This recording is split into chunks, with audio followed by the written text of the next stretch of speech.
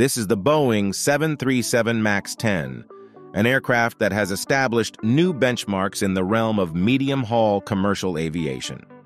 The history of the Boeing 737 MAX is a tapestry of innovation, ambition, and tragedy. Launched in 2011 as the fourth generation of the popular 737 series, the MAX was initially met with high expectations. Boeing's primary intent was to offer a fuel-efficient, long-range aircraft that could compete directly with the Airbus A320neo series. However, the MAX's journey took a dark turn with two tragic crashes, both of which were linked to a then-new flight control system called the MCAS, designed to compensate for the aircraft's altered center of gravity due to its larger engines. Unfortunately, a series of design, oversight, and communication failures led to the system's malfunction, contributing to the crashes and resulting in a global grounding of the entire 737 MAX fleet. Since its ungrounding, the 737 MAX has been slowly regaining the confidence of airlines and passengers. Several modifications have been made to the MCAS and other systems to ensure higher safety standards.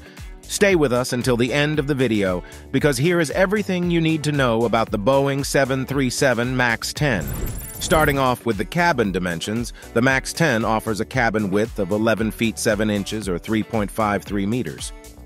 The typical two-class configuration allows for a seating capacity of 188 to 204 passengers, with a six-abreast setup in a 3-3 configuration. The aisle width sits at about 20 inches or 50 centimeters, making it reasonably comfortable for passengers to maneuver, although still trailing behind the A320neo's more generous aisle space. In terms of material, Boeing has opted for advanced carbon composite materials, and LED mood lighting is standard. The walls and ceilings have been recontoured to give an illusion of added space, and the overhead bins are constructed to maximize carry-on luggage capacity.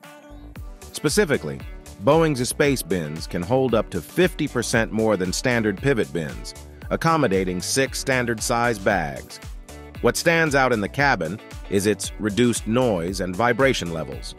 The noise-reducing chevrons on the engine nacelles and the use of acoustic lining in the cabin sidewalls contribute to a quieter travel experience compared to predecessors.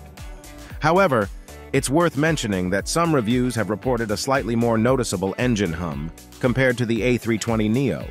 For the tech-savvy traveler, the in-flight entertainment and connectivity options are quite expansive.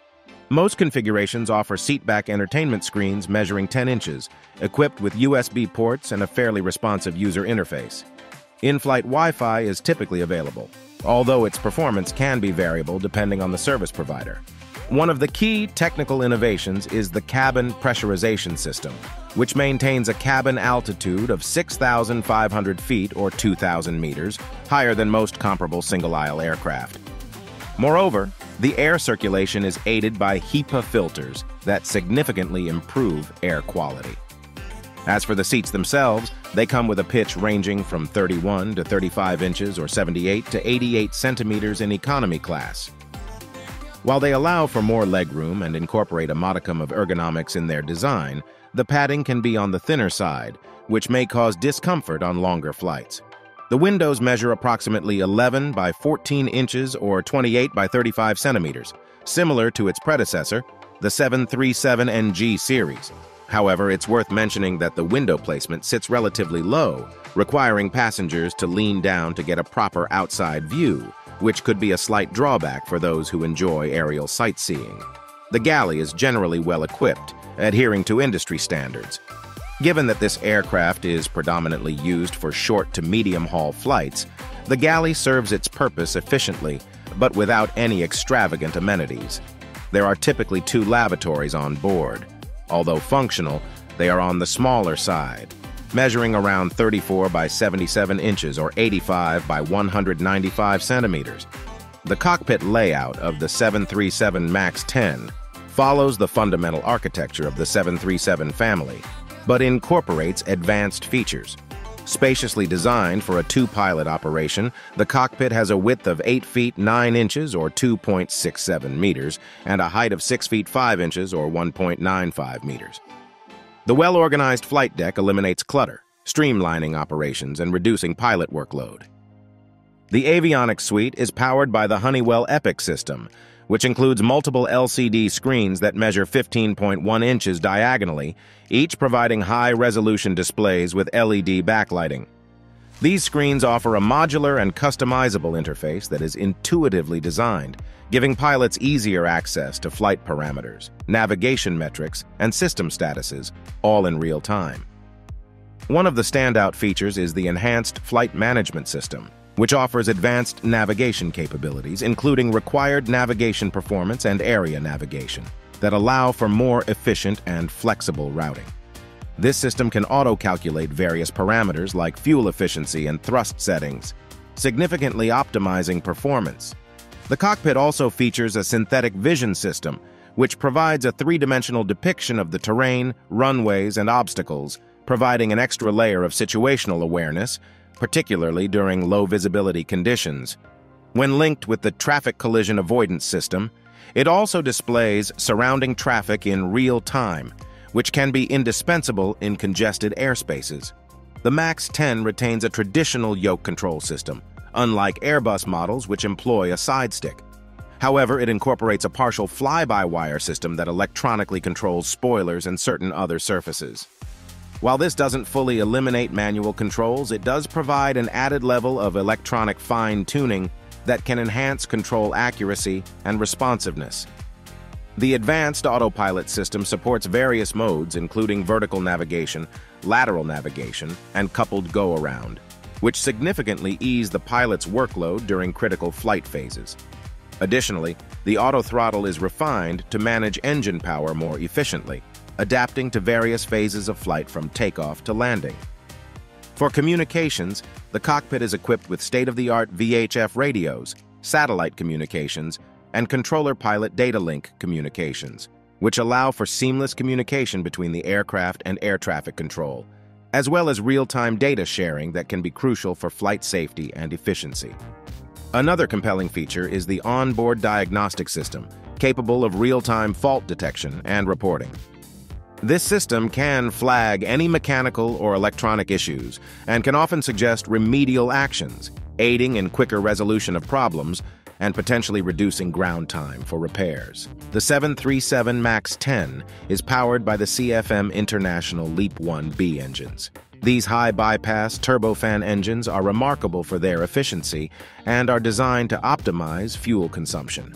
The engine's fan diameter measures 70 inches, or 1.75 meters, making it significantly larger compared to the older CFM 56 engines found on previous 737 models. Moreover, the LEAP-1B utilizes composite fan blades and a more aerodynamically optimized engine nacelle, contributing to its overall efficiency. The takeoff distance for the MAX 10 under standard conditions is approximately 8,300 feet or 2,530 meters. The engine's high thrust-to-weight ratio enables this shorter takeoff distance, particularly useful for operations at airports with shorter runways or at higher elevations where air density becomes a significant factor.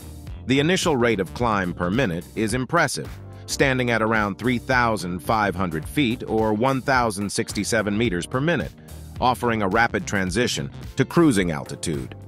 The LEAP-1B engines play a critical role here, their advanced design ensuring maximum thrust output with minimal fuel consumption during this phase.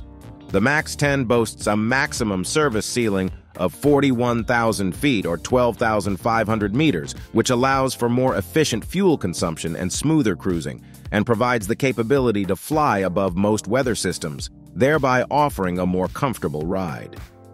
In terms of speed, the MAX 10 is capable of a maximum cruising speed of Mach 0.82 or around 530 knots, which is comparable to other aircraft in its class. One of the key attributes of the 737 MAX 10 is its range, extending up to 3,300 nautical miles or 6,112 kilometers when fully fueled. This range extension has been achieved through aerodynamic improvements and the engine's fuel efficiency, making the MAX 10 suitable for transcontinental routes and opening up new market opportunities for airlines. When it comes to payload, The MAX 10 can carry up to 45,070 pounds or 20,450 kilograms in a typical two-class configuration. The aircraft's advanced materials and structural engineering contribute to its ability to manage such a hefty payload while still maintaining its range and fuel efficiency metrics. Lastly, the landing distance of the 737 MAX 10 stands at around 6,400 feet or 1,950 meters under standard conditions. The aircraft employs state-of-the-art winglets and flaps, allowing for a more controlled descent and landing. The wheel brakes are equally sophisticated, employing carbon braking systems that are both lightweight and highly effective in bringing the aircraft to a stop. And finally, the base purchase price for a new Boeing 737 MAX 10 is $150 million before options. Thank you for staying with us till the end. Here are two videos you can watch next. If you enjoyed this video, make sure to leave a like and subscribe. Thanks for watching.